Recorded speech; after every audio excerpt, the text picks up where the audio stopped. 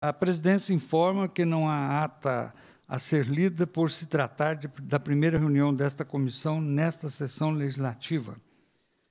É, queria agradecer a presença do deputado Sábio Souza Cruz, Ulisses Gomes, Zé Reis, e com isso nós temos o quórum aqui bem constituído. Esta reunião se destina a apreciar a matéria constante da pauta e a receber, discutir e votar proposições da comissão. Vamos prosseguir? Nós vamos suspender a reunião devido à reunião às 10 horas de plenário. Agradeço a presença e, logo que for possível, a gente comunica com todos. Muito obrigado pela presença, por enquanto. Estão suspensos os nossos trabalhos. Plenário. É, estão presentes o deputado Cássio Soares. Quem mais? Tem, deputado Charles Santos.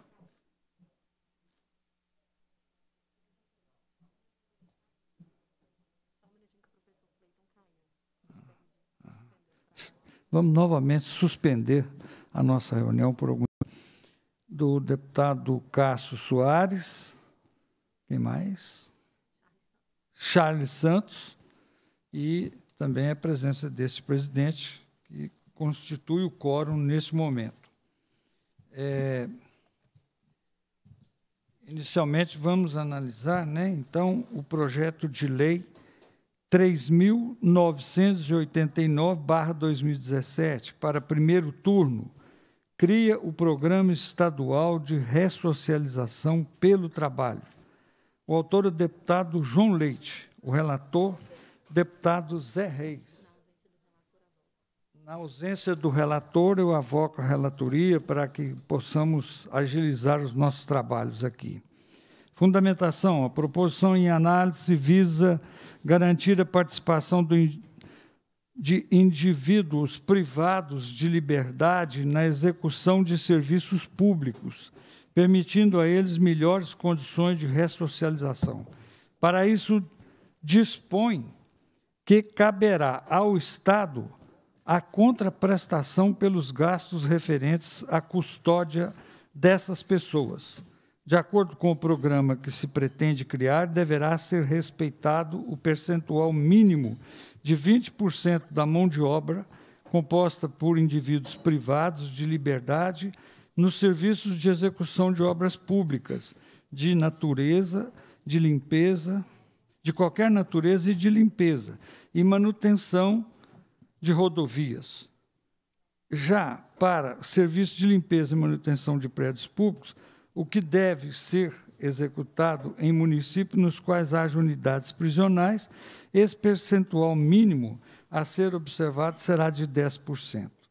Para tanto, deverá ser selecionado detentos com o perfil mais adequado para a execução de cada serviço a ser definido em regulamento, devendo, se devendo ser completados apenados dos regimes fechados, semiabertos e abertos. Além disso, a proposição determina que o Estado firme convênios e parcerias com prefeituras e demais pessoas jurídicas de direito público para ampliação da participação da mão de obra de indivíduos privados de liberdade na prestação de serviços públicos. Por fim, o projeto dispõe que toda eventual verba arrecadada com a prestação do serviço deverá ser definida ao custeio do sistema prisional estadual, exceto na hipótese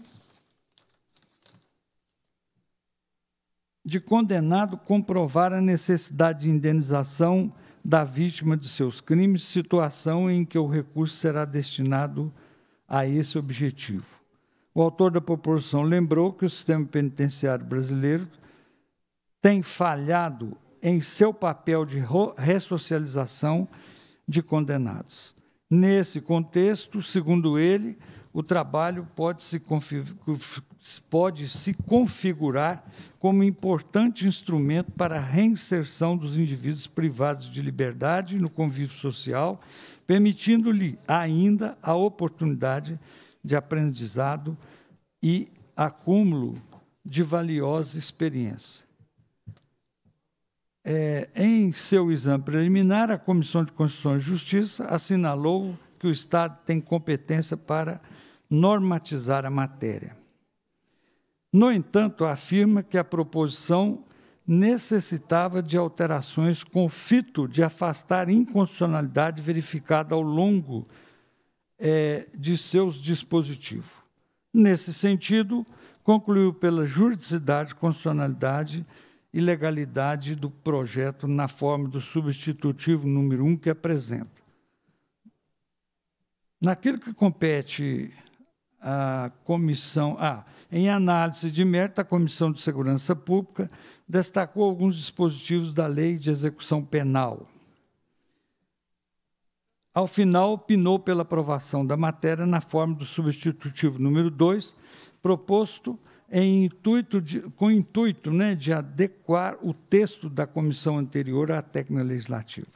Naquilo que compete a esta comissão, a esta comissão analisar, destacamos que os comandos da proposição, tanto na forma original quanto nos substitutivos apresentados, não criam despesa para o erário. Ao contrário, poderá haver inclusive uma redução de custo do sistema prisional, seja pela ressocialização de detentos, seja pela eventual verba arrecadada por meio dos serviços dos presos e aplicada no sistema e aplicada no sistema. Ao considerar as alterações propostas pelas comissões anteriores e a relevância da matéria, acreditamos que a matéria deve prosperar nessa casa. Conclusão, diante do exposto, opinamos pela aprovação do projeto de lei 3.989-2017, em primeiro turno, na forma do substitutivo número 2 da Comissão de Segurança Pública e pela rejeição do substitutivo número 1 um da Comissão de Constituição e Justiça. Em discussão o projeto. Em, em discussão o parecer.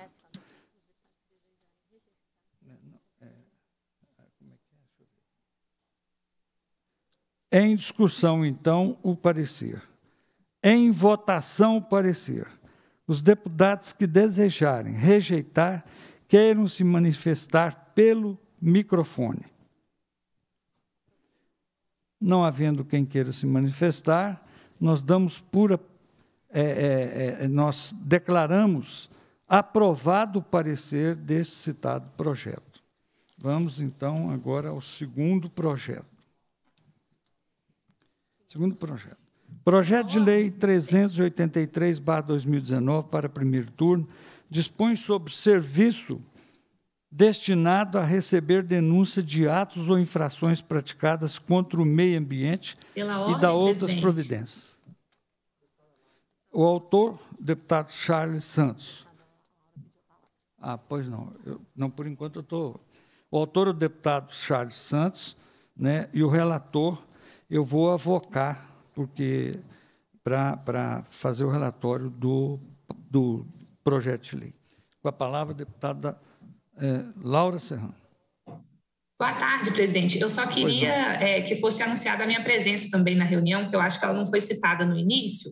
Hum. Eu tive uns problemas técnicos, acabei entrando Agradecemos depois, mas pela presença, só... viu? Porque nós não citamos porque não estava ainda, ainda. Não apareceu não, aqui, sim. viu? Eu compreendo, é só porque, como a votação é simbólica, eu considerei que era importante. Obrigada, presidente. Pois não. Então, você, Vossa Excelência, queria fazer alguma manifestação sobre esse projeto? Não. não pois não. Meu voto é então, sim. Vamos seguir. Então, me dá o... Vamos ler, então, o parecer. Então, tá. Eu vou, eu vou pôr aqui. Fundamentação: o projeto em análise tem por objetivo instituir o serviço de atendimento telefônico destinado a receber denúncia de prática de atos ou infrações contra o meio ambiente na forma do Disque Denúncia. Conforme a proporção, não será exigido nenhum meio de identificação pessoal do denunciante. A denúncia, por sua vez, será encaminhada ao órgão competente para devida apuração. Né? A Comissão de Constituição e Justiça preliminarmente esclarece que já existe um nosso ordenamento jurídico na Lei 14.986 de 2004, que institui o serviço de, de disque denúncia. Pois é, em razão disso, considerou que o projeto original não possui o caráter inovador, uma das características essenciais da lei. Razão pela qual apresentou o substitutivo número 1. Esse substitutivo propõe prazo para que as denúncias de crime e de não conformidade referente à segurança de barragens sejam encaminhadas ao órgão competente para devida apuração. É.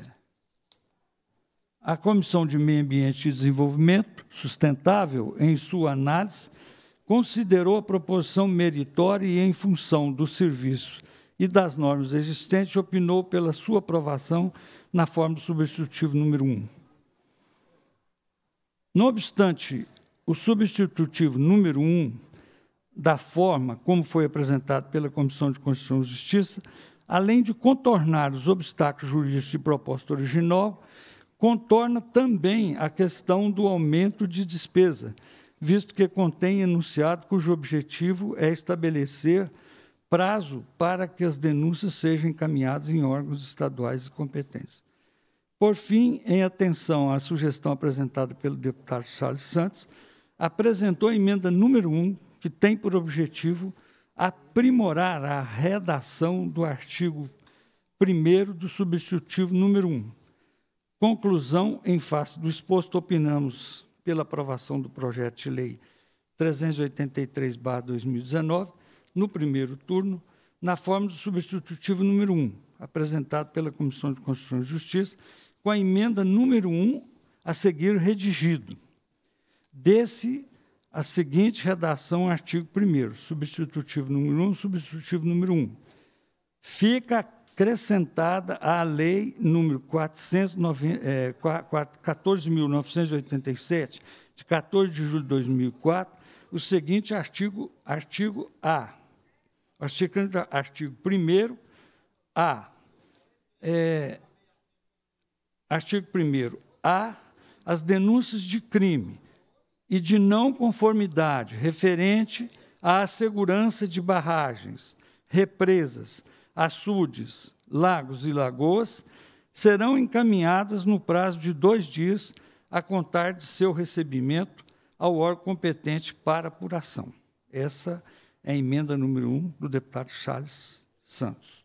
Então, nós vamos colocar em discussão o parecer, exceto a emenda, né? Ou com a emenda. É, eu informo que a emenda foi incorporada ao parecer é, em discussão o parecer. Para discutir, senhor presidente. Em votação, é, é, aliás, é, é, nós vamos colocar em discussão o parecer. Para discutir, o deputado Charles Santos.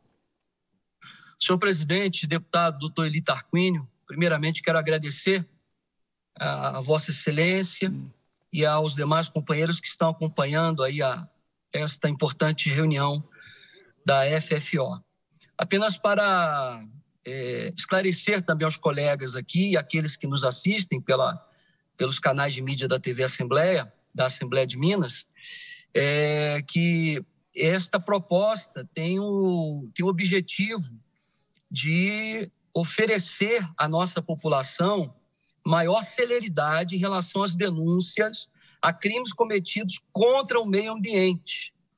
Esse projeto nasceu é, quando nós tomamos conhecimento de que, após as tragédias das barragens aqui em Minas Gerais, a própria imprensa noticiou que várias pessoas suspeitavam que aquela tragédia poderia acontecer. Até técnicos informaram que já havia a possibilidade é, de rompimento de barragens. Como nós tivemos agora, essa tragédia também, esse problema essa uh, recentemente o problema em Capitólio, né? Tivemos perdas de vidas com a queda da rocha. E há 10 anos atrás, uma pessoa já havia sinalizado: olha, essa rocha vai cair. Então, hoje nós temos um canal que talvez não esteja sendo bem utilizado, onde a pessoa pode já fazer a denúncia. E o que nós estamos propondo aí, senhor presidente, caros colegas, é fomentar esse canal de denúncias contra o meio ambiente, sobretudo a favor da vida, da vida humana, da vida é, é, do nosso semelhante. e fazer com que essa denúncia, que pode ser feita de forma é, sigilosa, essa denúncia seja acatada e haja um prazo de retorno, haja um prazo, haja celeridade, para que a gente não tenha mais perdas de vidas preciosas aqui em nosso Estado. Portanto, eu gostaria de encaminhar, senhor presidente, pela aprovação, desde já fazendo agradecimento a Vossa Excelência, aos demais membros da comissão, é, em apoiar esta importante pauta é, que está aí sendo colocada agora em votação. Muito obrigado, senhor presidente. Pois não. Então, nós vamos colocar, não havendo outros oradores, vamos colocar em votação o parecer. Os deputados que desejarem rejeitar, manifestem-se pelo microfone. Não havendo manifestação, nós damos por aprovado o parecer, juntamente com a emenda número 1. Então, está aprovado o parecer. Agora, o terceiro. Projeto de Lei número 1493/2020 dispõe sobre o tratamento de pacientes com gigantomastia e estabelece prazo para tratamento no âmbito do Sistema Único de Saúde. O autor é o deputado Dr. Jean Freire, o relator é o deputado Ulisses Gomes.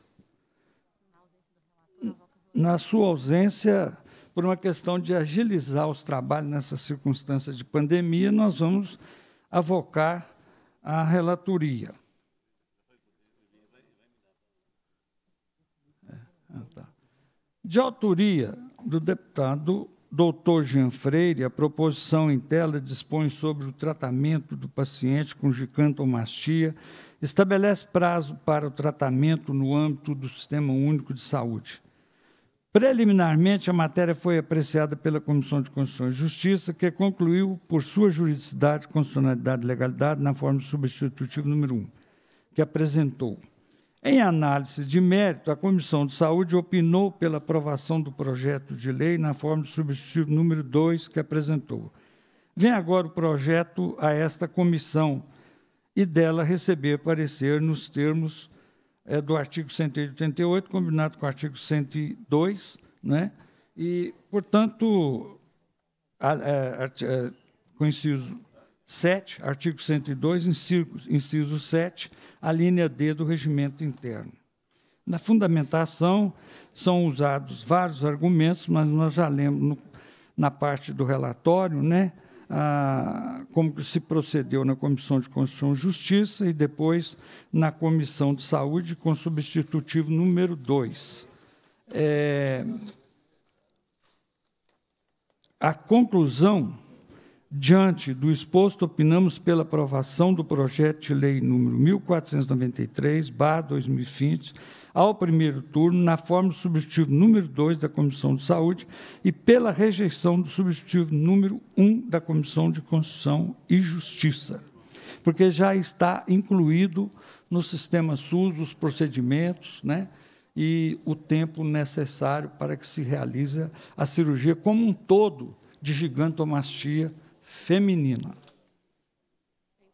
É em discussão parecer não há oradores inscritos. Em votação, parecer. Os deputados que desejarem rejeitar o parecer, manifestem-se pelo microfone.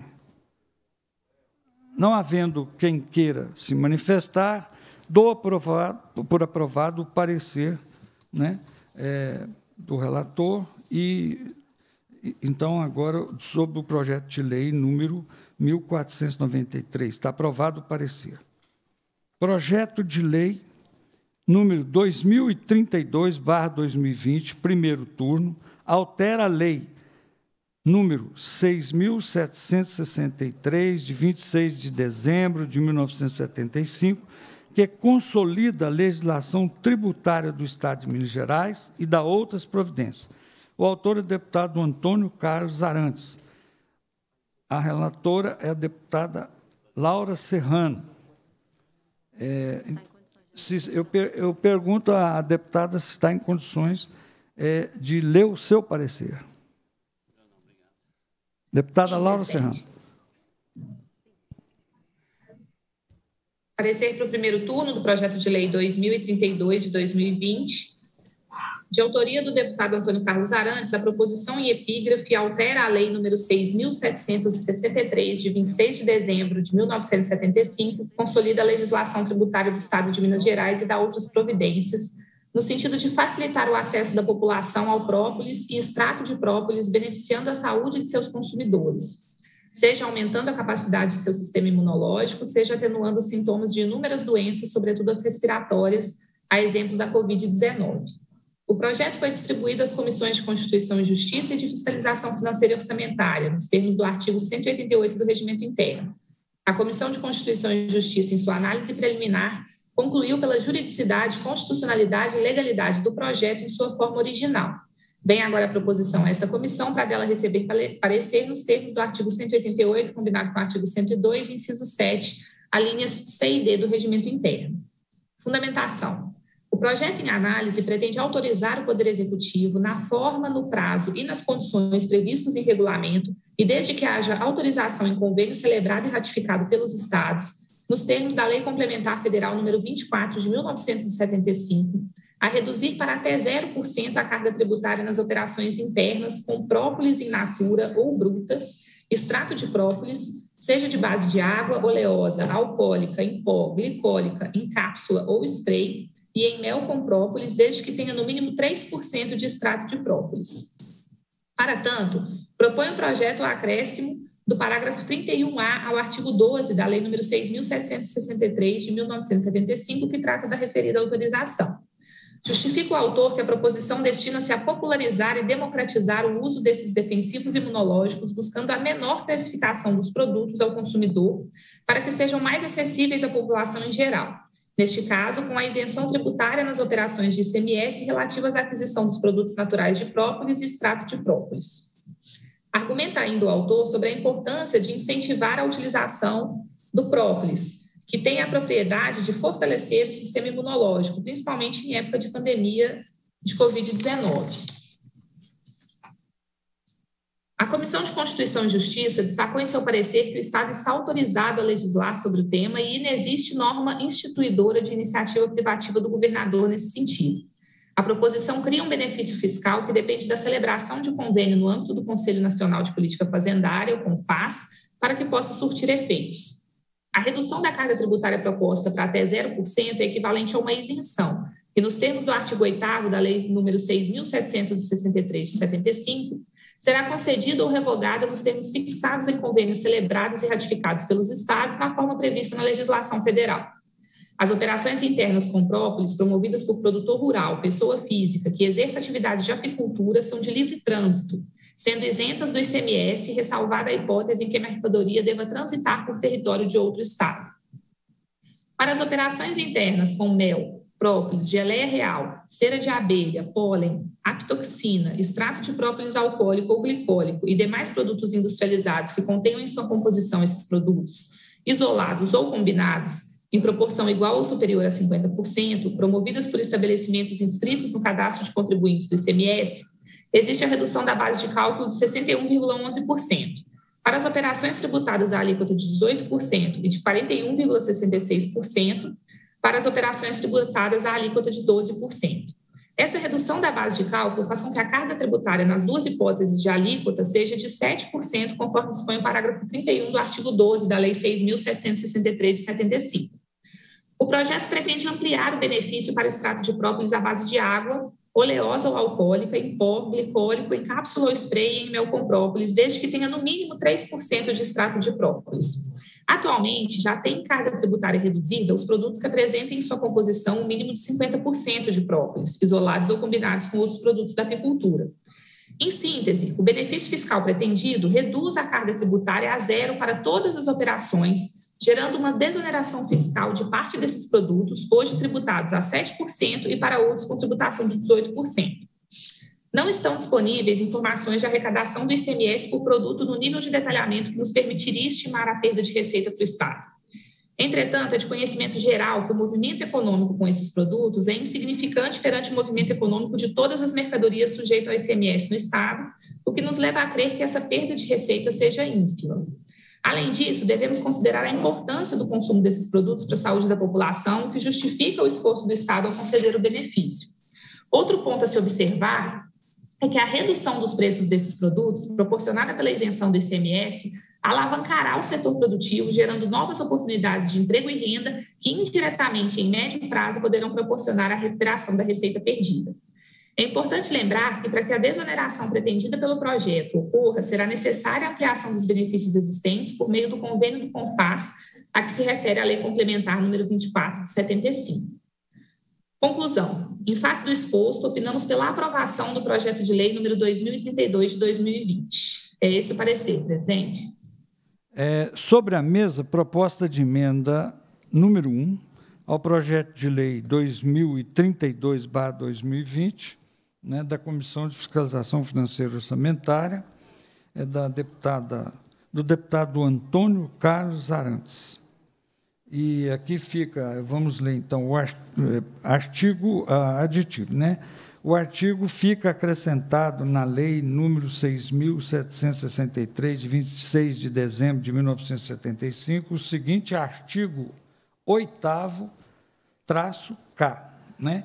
Artigo 8 K não se aplica a isenção na operação interna com leite, inclusive quando realizada por produtor rural, na hipótese em que o adquirente promova subsequente saída interestadual desta mercadoria ou derivados dela, quando não haja industrialização em estabelecimento localizado neste estado, da qual resulte produtos acondicionados em embalagem própria para consumo.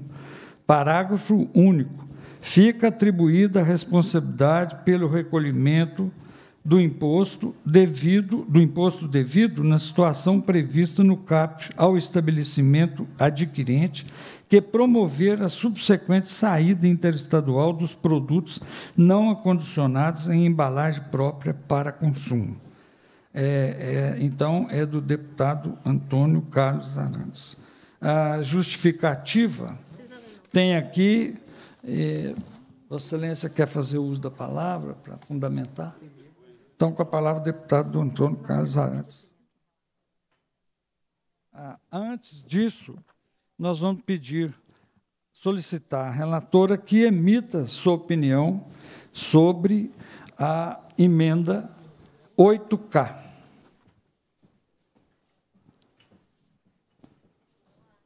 Presidente, é, em, em, que pese, claro, a, a, boa intenção do autor em apresentar a emenda em relação ao mercado de leite, a minha avaliação é que existe um potencial de aumento de impostos que pode vir a impactar o consumidor final e, de certa forma, também uma, uma interferência nesse mercado. É, por isso, mais uma vez, em que, em que pese a, a compreensão que eu tenho da, da, boa intenção do autor na apresentação da emenda, eu opino pela rejeição. Pois não. Continua em discussão o parecer e a emenda, né? Agora, por uma questão aqui, como a emenda não foi. Eu, ah, antes disso, vamos ouvir para discutir, ouvir a palavra do deputado Antônio Carlos Arantes autor da emenda. O projeto, projeto, também de nossa autoria, né, que é o projeto aí que valoriza a própolis brasileira, ela faz com que amplie o incentivo aos nossos produtores de própolis. O Brasil hoje já virou modelo na produção, mas ainda precisa ter incentivos tributários para que ele possa competir. Como o, o, a produção, quando se pensa assim, em valores, ainda é insignificante, ou seja, isso não significa perda de arrecadação praticamente para o Estado. E, ao mesmo tempo, a partir do momento que você incentiva, isso faz com que aumente a produção, gere mais emprego, gere mais renda, automaticamente o Estado ganha mais. Agora, a emenda que nós temos aí na questão do leite, na realidade, não aumenta nenhuma tributação, pelo contrário para o consumidor. O que vai, o que, a intenção do nosso projeto, na realidade, é fazer com que o leite produzido dentro do Estado ele seja beneficiado dentro do Estado, porque hoje nós produzimos, principalmente nas regiões aí próximo às fronteiras de Goiás, é, São Paulo, Rio de Janeiro e Espírito Santo, grande parte desse leite ele é produzido em Minas e beneficiado nas indústrias de outros estados. Ou, ou seja, nós ficamos é, com grande parte aí do, de perca de renda, perca de empregos que poderiam ser gerados na indústria mineira. Então, nosso projeto ele visa incentivar essa verticalização, ou seja, o produtor produz, a indústria mineira beneficia e distribui. E distribuindo para outro estado, você vai ter o, o, produto acabado, industrializado, diferente do que nós temos hoje, que grande parte do nosso leite ele vai in natura nos caminhões que coletam o leite do produtor, atravessa a fronteira, beneficia no outro estado e muitas vezes compramos o próprio iogurte, o próprio queijo de Goiás do, do leite produzido em Minas. Compramos no Rio de Janeiro, do Rio de Janeiro né, se não me engano, acho que é entre rios, né, rios, é, alguma coisa assim de perto de Juiz de Fora, atravessa a fronteira, vai lá, beneficia aquele leite, vira queijo, vira iogurte, vira doce e volta para Minas Gerais. Então, o nosso projeto ele visa isso, visa proteger a indústria mineira, visa é, gerar desenvolvimento, gerar renda, gerar mais emprego em Minas Gerais e, e consequentemente, todos ganham. Então, o nosso a nossa, nosso pedido é que aprove o projeto, sim, da Própolis, mas também que possa aprovar esta emenda, dando parecer favorável a esta emenda. Isso não é coisa que vem na cabeça da gente, isso é ouvindo a nossa Federação da Agricultura, né, a FAENG, é ouvindo os sindicatos, é ouvindo aí o CIVENG, que é o sindicato da indústria também, porque quando você ouve mais, você acerta mais. E é por isso que eu peço aos pares essa compreensão e este voto. Muito obrigado, senhor presidente. Eu ia, muito obrigado, ele tem sido muito atencioso conosco. Muito obrigado. É, então, nós vamos um minuto só. Votação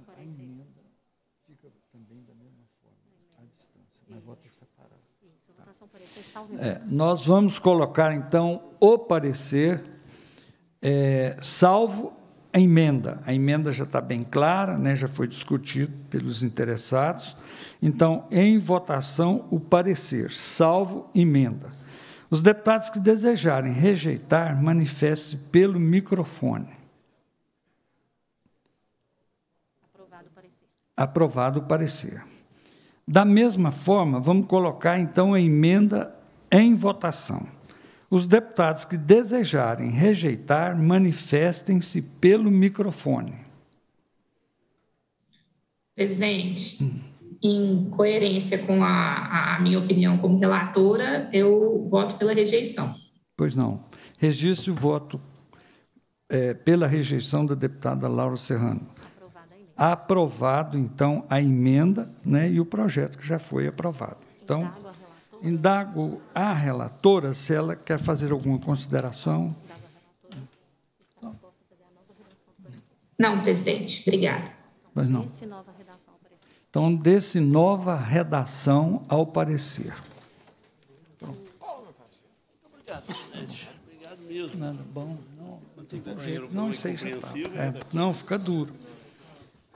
É, vamos ler os requerimentos, né? Ler? Ah, tem mais. Projeto de lei número 2233, 2020, para primeiro turno, regulamenta a instalação de comitês de prevenção e solução de disputas em contratos continuados da administração direta e indireta, inclusive empresas públicas e sociedades de economia mista do Estado. O autor é a deputada, a deputada Laura Serrano, a, o relator o deputado Zé Reis. É, na ausência do relator, eu avoco exatamente para acelerar, para que não fique, né? Nós estamos numa fase difícil, então eu vou fazer o relatório.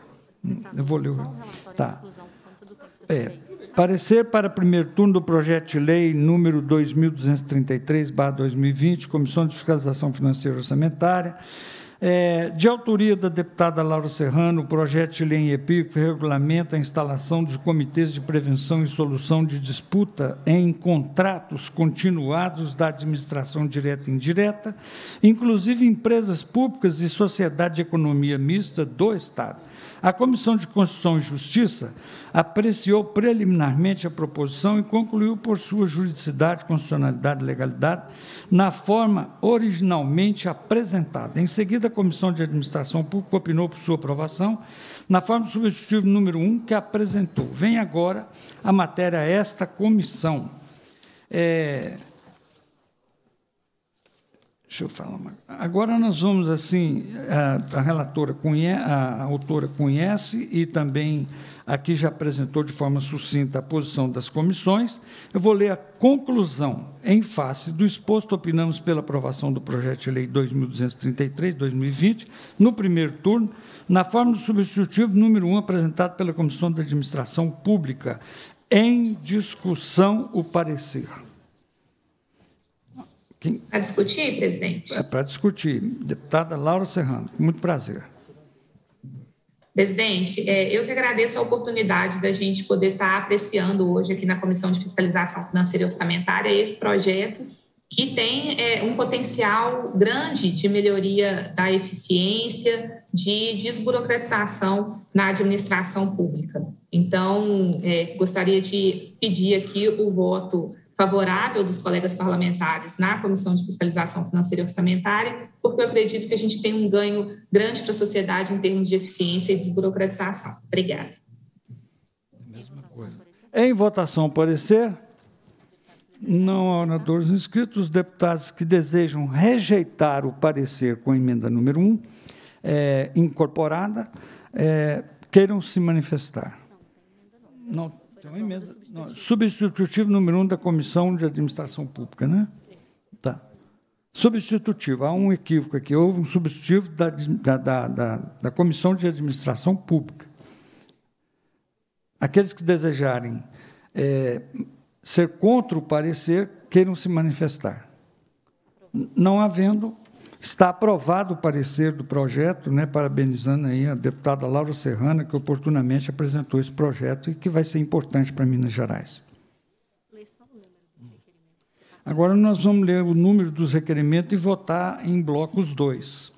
Requerimento número 9.410-2021, turno único, requer que seja encaminhado ao governador do Estado pedido de providência para a prorrogação do prazo para adesão ao Refis Mineiro e IPVA até o fim do estado de calamidade pública decorrente da pandemia de Covid-19 nos termos do Decreto 4802, de 29 de dezembro de 2020, que prorrogou o prazo de vigência do estado de calamidade pública, de que trata o artigo 1 do Decreto 447-891, de 20 de março de 2020, em todo o território do estado.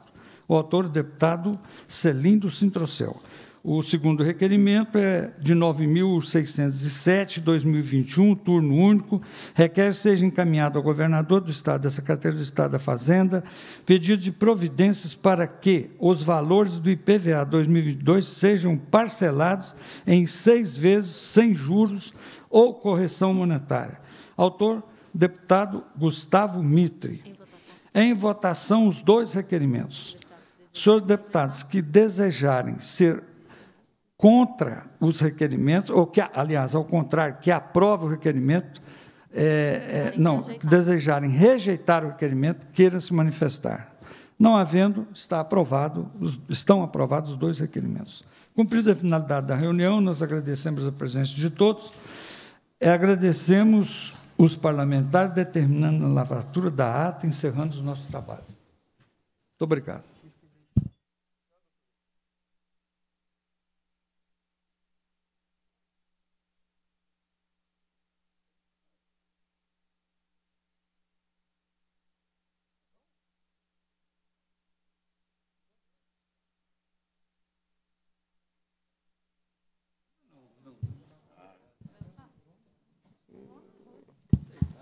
Almoço? Essa reunião de líderes atrasando. Né? Tá bom. Posso abrir, né?